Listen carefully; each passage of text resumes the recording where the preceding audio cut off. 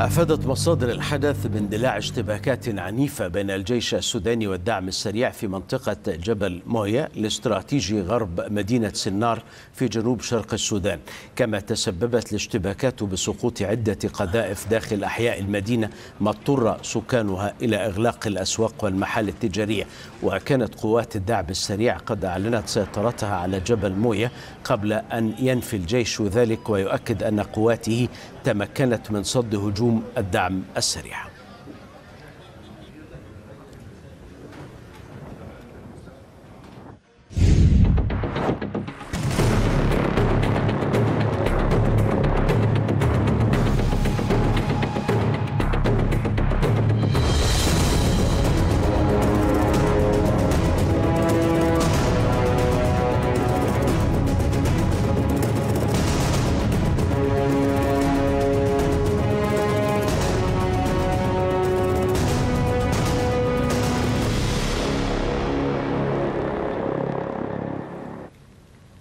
وسودانيا أيضا ومع استمرار المعارك المعارك أدرج الاتحاد الأوروبي ستة من العسكريين من الدعم السريع والجيش السوداني ادرجهم على قائمة العقوبات وشملت العقوبات الأوروبية الجديدة قائد قوات الدعم السريع في غرب دارفور الجنرال عبد الرحمن جمعة بركة الله والذي يتهم بأنه المسؤول عن ارتكاب انتهاكات والتحريض على القتل بدوافع عرقية والعنف الجنسي المرتبط بالنزاعات. وكذلك المستشار المالي لقوات الدعم السريع بالإضافة إلى زعيم قبلي بارز من عشيرة المحاميد المرتبطة بقوات الدعم السريع في غرب دارفور وجاء إدراج العسكريين على قائمة العقوبات الأوروبية على خلفية دورهم في تهديد استقرار السودان.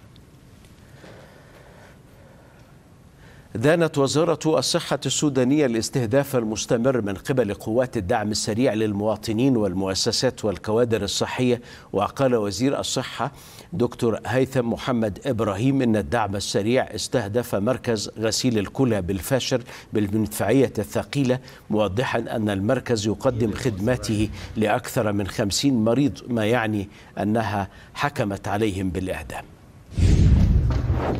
تدوين في مركز غسيل الكلى ده مركز غسيل الكلى الآن في الفاجر يعني. ده تدوين المستهدف هو المؤسسات الدعم السريع الميليشيا الإرهابية للمؤسسات ده مركز بتاع غسيل الكلى يا جماعة. ده مركز بتاع غسيل الكلى أي ده مركز غسيل الكلى الساعة الأربعة يوم الأحد يوم 23 يونيو 2024